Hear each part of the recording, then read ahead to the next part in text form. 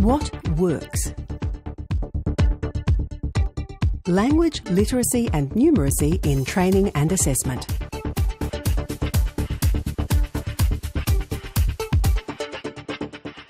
It plays a big role in any job that you do. You need to be able to read, and if you can't have these basic skills, then yeah, it makes life very difficult.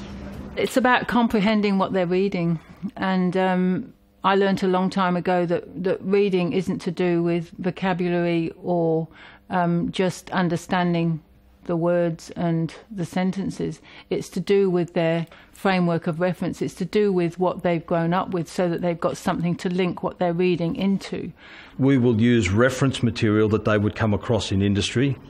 So we've used a, a range of manuals and catalogues, um, and we would expect them to be able to use and, and read those. So we've got bearing catalogues here that we get them to use, and we get them to use them for a variety of reasons, one of which is to read a catalogue.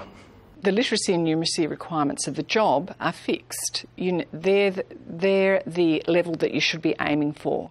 You need to check, check your learning materials. Is the level too high? You might need to adjust the level of your learning materials downwards, the language level. And also, you need to assess the literacy and numeracy levels of your learners when they first start your course because you might need to support them and develop their literacy and numeracy skills.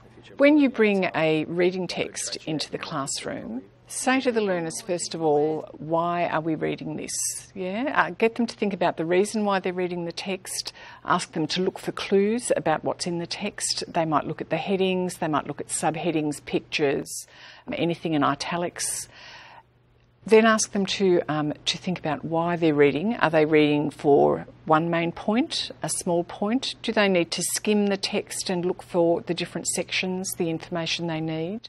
With a reading task, usually I don't show them anything, but I might talk about the topic and I say what sort of things come to mind if we're going to talk about spelling, for example, if we're doing a spelling activity. Then I'll show them the reading task after we've done some talking, some brainstorming, some words would be written up on the whiteboard.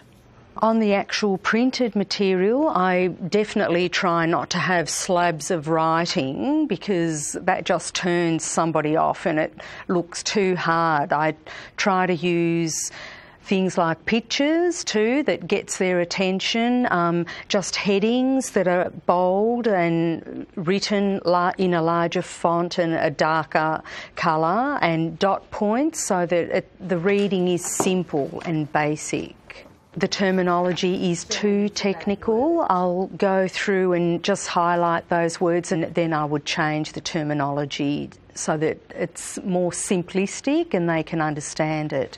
That way it has more meaning to them because if they, there's no meaning there, it just goes over the top and they don't understand what they're doing is a huge part in the courses that we do because obviously they've all got their learners guides that they need to read they've recipes to read work plans to read.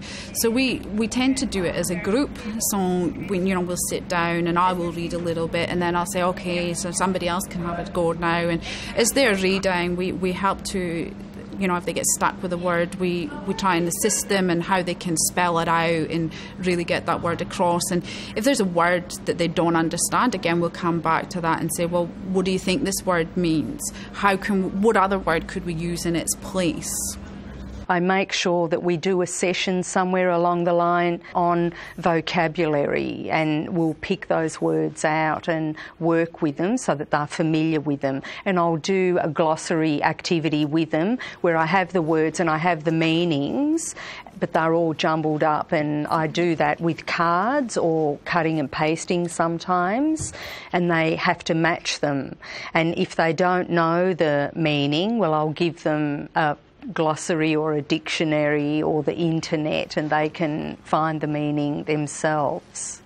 Sometimes the students go, Why there are there always so many words? And I go, Well, in English we have words pretty, beautiful, lovely, nice. You don't have a problem with that. Know, this is your trade. You just have to learn what the different words are.